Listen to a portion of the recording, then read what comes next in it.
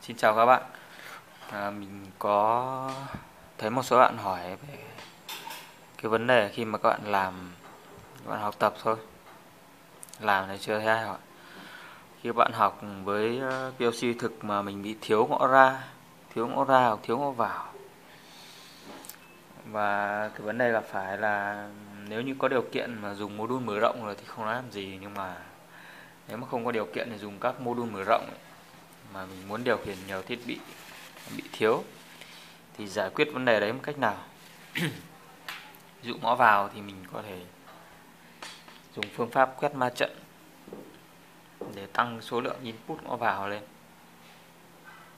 Tương tự như thế thì à, ví dụ như là mình có năm một sáu cái ngõ ra sáu cái ngõ ra sáu ngõ ra mà mình muốn điều khiển tầm 10 thiết bị 90 thiết bị thì mình đang bị thiếu đúng không?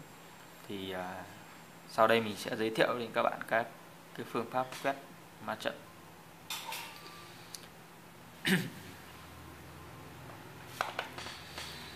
Ở đây mình sẽ áp dụng với PLC hãng Siemens nhé.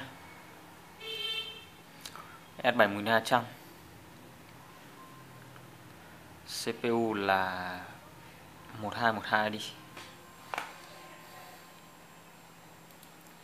1212 thì nó sẽ có khoảng à, 6 ngõ ra. 6 ngõ ra thì mình sẽ chia làm hai. Đây, cái phần này mình sẽ mô tả cho các bạn thấy là bên trong con POC nó sẽ như thế nào.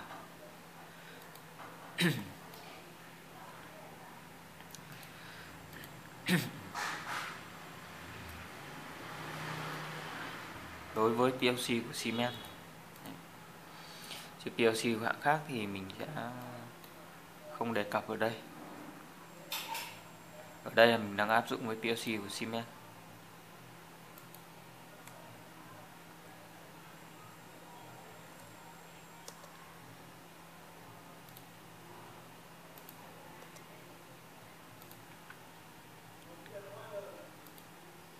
Ở đây thì cái hình hình vẽ là mô tả lại cái phần cứng của trong con PLC mình sẽ mô tả lại để mình giải thích thì các bạn có thể hiểu hơn. Bởi vì à, cái phần cứng này cũng rất là nhiều người cũng chưa nắm được.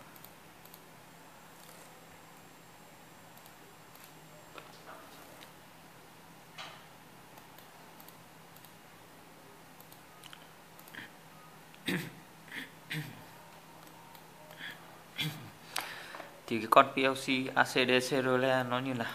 Đấy. thì mỗi một cái ngõ ra của nó sẽ tương ứng với một con một cặp tiếp điểm thường mở của một con relay độc lập. Ví dụ như 6 ngõ ra thì sẽ 6 có 6 con relay và người ta sẽ dùng cái tiếp điểm đấy, sẽ dùng cái tiếp điểm của con relay đấy. Tiếp điểm thường mở. Đây mình minh họa cho. Và các cái cặp tiếp điểm đấy thì nó sẽ có hai chân. Thì một chân người ta sẽ nối chung lại rồi và nó nằm bên trong con PLC và nó sẽ đưa cái đầu đấy ra chân cái cổng 1L và 2L trên con PLC đấy. Đó, chân chung cho cụm thứ nhất và chân chung cho cụm thứ hai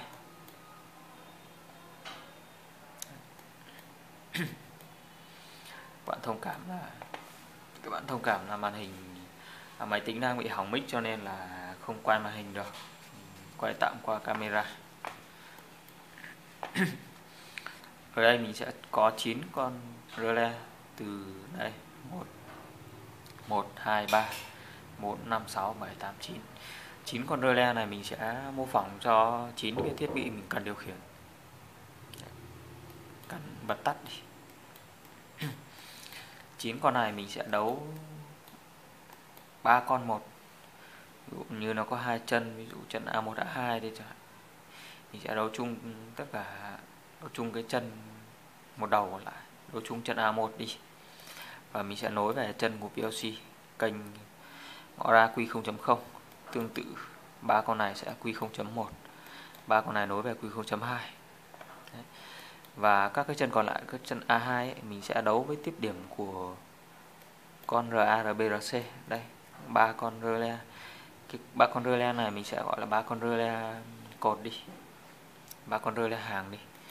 Đây là các con relay cột.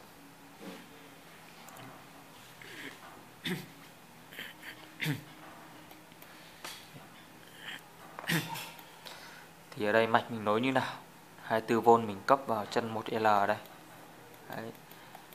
nó nối đi vào trong như này và cứ mỗi một lần mình viết chương trình, mình cấp lệnh cho Q0.0 on lên, thì cái tiếp điểm này nó sẽ đóng lại và nó sẽ cấp 24V ra đây sẵn đầu này rồi Đấy. 0V thì đấu sẵn vào đây rồi Đấy. thì để điều khiển con R1 này độc lập như nào bây giờ mình sẽ giải thích.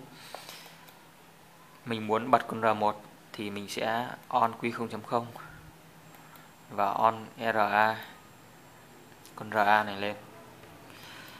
Con RA này on lên ấy thì à, tiếp điểm RA chỗ này đóng lại này chỗ này đóng chỗ này cũng đóng. Đấy thì chỗ này đóng nhưng cái, cả ba chỗ này đều đóng nhưng mà chỉ có con R1 sáng tại vì sao? Tại vì cái Q0.0 nó được on Q0.0 on thì ba đầu này sẽ có 24V còn các cái con này các cái chân quy này nó không on thì các cái đầu này nó sẽ không sáng. Đấy không đủ điện áp không đủ kín mạch. Đấy. ví dụ muốn bật R2 thì sao? Muốn bật R2 ấy, thì Q0.0 mình vẫn on. Đấy, on Q0.0 và tại thời điểm đấy cũng on luôn RB lên. Đấy, thì nó sẽ ra được. Còn R2 này sẽ sáng này. Tương tự như bật R4 chẳng hạn thì sẽ on Q0.1 và on RA lên. Đấy. thì mình quét theo kiểu 3 x 3 thì sẽ mất 6 ngõ ra. 6 ngõ ra thì sẽ nâng cấp lên được đến 9 thiết bị điều khiển chạy độc lập. Chạy độc lập và có thể chạy song song luôn đấy. Ví dụ như muốn chạy R1 R2 này thì mình sẽ cấp lệnh on Q0.0 này. Và on RA on RB on ba con này lên. Thì là R1 R2 sẽ có điện và nó sẽ được bật.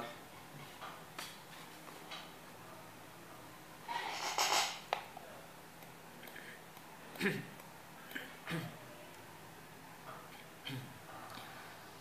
phần ngõ vào ấy, thì à, nó cũng gần gần giống như này. Nhưng nó sẽ khác với cách đấu nối.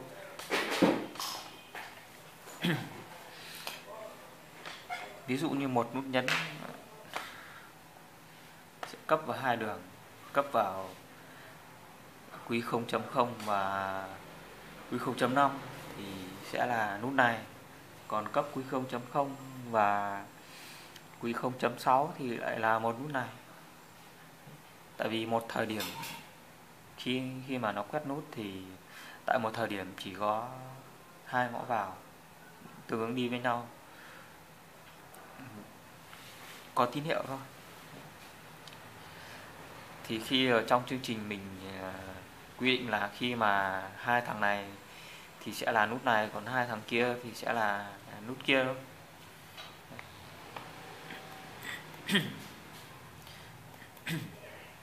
cái bài của mình thì chỉ mang tính chất tham khảo thôi các bạn và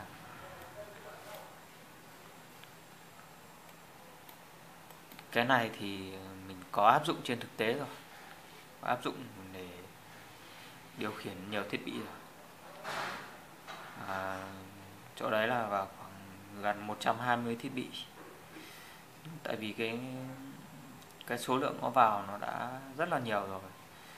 Số lượng nó ra nữa cho nên là dùng hết các module dùng nhiều module mình thêm dùng để quét nó ra để điều khiển được nhiều thiết bị. Tự nhiên là cái thiết bị của mình thì nó giống nhau nó bằng các cái van cho nên là cái thuật toán của mình nó điều khiển cũng dễ chứ nếu mà các bạn điều khiển các cái con mà chương trình nó chạy không giống nhau mà dùng cái cách quét như này thì nó sẽ không hợp lý.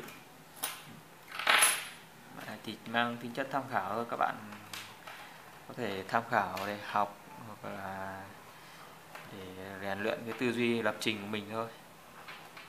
Bạn nào có góp ý thì có thể comment xuống bên dưới và mình cùng thảo luận.